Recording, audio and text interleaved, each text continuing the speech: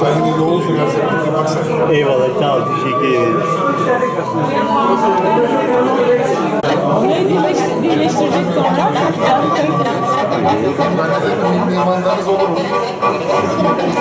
Eğitimde değil mi? Nasıl mekan çok güzel ve kimli olduğunu bilmiyorum. Allah Allah. Tamam. Hı hı. Geç, geç, geç, geç.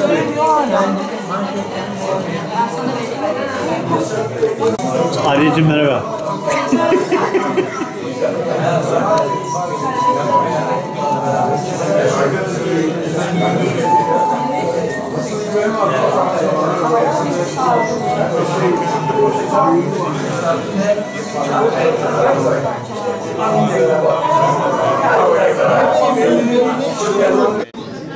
Evet, e, Esat Erçetin Göz'ün e, ilk e, sanat art galeride açtığı e, sergideyiz.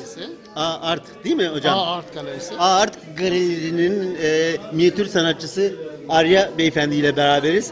Arya'cığım sanata çok e, emek veren, sanata saygı duyan bir arkadaşımız. E, çok da katkıları var. E, Arya'cığım hayırlı olsun tekrar. Teşekkür ederim Kemal'cim. E, Kemal Bey ben yaklaşık 20 yıldan fazla tanışıyorum. Teşekkür ve ederim, Çok, çok değer verdiğim, çok sevdiğim bir gazeteci, muhabir ve işlerinde de son derece başarılı ve e, bu tür İzmir'deki olan aktiviteleri son derece yakın bir arkadaşımız. Art Galeri'yi esasında İzmir adına ve İzmir'deki bütün sanatlar adına açmaya planladım. Ben yaklaşık 30 yıldır İzmir'de oturuyorum ve İzmir'de bu sanatları, özellikle geleneksel sanatları mümkün mertebe gelişmesine, daha çok öğrenci, daha çok insan bu sanatlarla ilgilensin diye ve Türkiye çapında bunlar e, belli bir noktaya gelmesi ve hatta uluslararası bir evrensel bir sanat olarak gelmesini çok arzu ediyorum. Misyonumu bunu düşünüyorum. Kızlar Hasanı gibi çok tarihi bir yer ve böyle bir yerde birçok şey bulabilirsiniz. Ama bir sanat galerisi ve sanatla uğraşanlar olmasına rağmen böyle bir mekan olmayışı birçok arkadaşımın dediğine göre çok isabetli bir karar olduğunu esasında bu da zaman tarih gösterecek. İnsanların ilgisi, sanatçıların ilgisi. Umarım ki çok iyi bir mekan olsun ve herkes bundan buraya gelsin, buyursun gelsin. İster sanatçı, ister izleyici buradan e, zevk alarak ayrılsın. Şimdi e, Kızlar Ağası fotoğraf sergisi projesi nasıl hayata geçti? Nasıl başladı Esat'la? E, e, yani Esat'ın böyle bir projesi vardı sundu mu yoksa birlikte mi karar verdiniz Kızlar Ağası'nın tümüyle hani içeriği o Kızlar Ağası? E, nasıl hayata geçti proje? Şimdi e, biz geçen ay, e, bir geçen hafta bir sergi yapmışız. Bu ikinci sergimizdi. Bu mekanda ikinci sergi. Birinci sergide e, benim başkanlığı yaptığım bir dernek var. İzmir Kültür Sanat Eğitim Antika Derneği. Orada bir, bir proje yapmıştık. İzmir'in 30 ilçesini 30 farklı renk ve 30 sanatçı, her bir sanatçı bir ilçeyi çalıştı.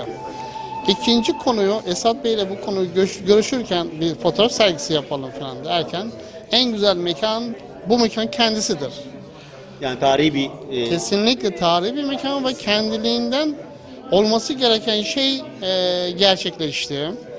Esat Bey günlerce e, farklı zamanlarda burada farklı ustalardan, burada yaşayan insanlardan, satılan şeylerden farklı kareler toplayıp ve yüzlerce kare içerisinde 30 tane karesini seçtik.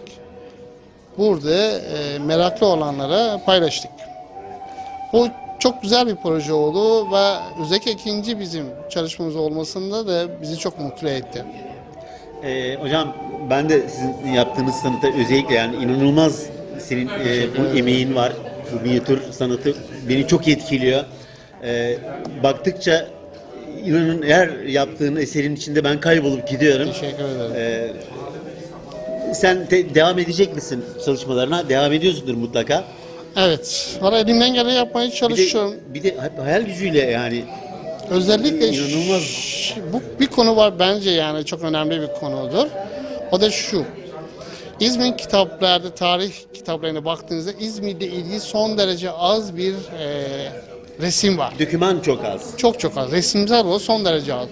Bu e, bunu ben e, çok önemsiyorum. Ve buna elle yapılmış olanları, çünkü o kişi kendi ruhunu, kendi düşüncelerini de katması son derece keyifli ve güzel bir şey getiriyor ve bu açıdan çok önemli. Bunun bir farklı versiyonu benim için ikinci misyon belki daha önemli. Belki bugünler sadece tohumu düşünce olarak tohumu atarım ama 40 yıl 50 yıl sonra gerçekleşir o da bu. İzmir sanat konusunda Türkiye'de bir sanat ticaret merkezi olabilir. Bu son derece önemlidir. Yani şimdi Sadece sanatçıların eserlerinin sergilendiği ve satılıp satılan satıldığı değil mi? Bir şey, Bu bir ama işin gerçekten iyi bir tespit. sanatçı bunu işi ciddi alması gerekir. Ciddi alabilmesi için eserler satılması noktasına gelmesi lazım. Benimsenmesi gerekiyor ve kendisi o kadar güçlü hissedebilmesi lazım.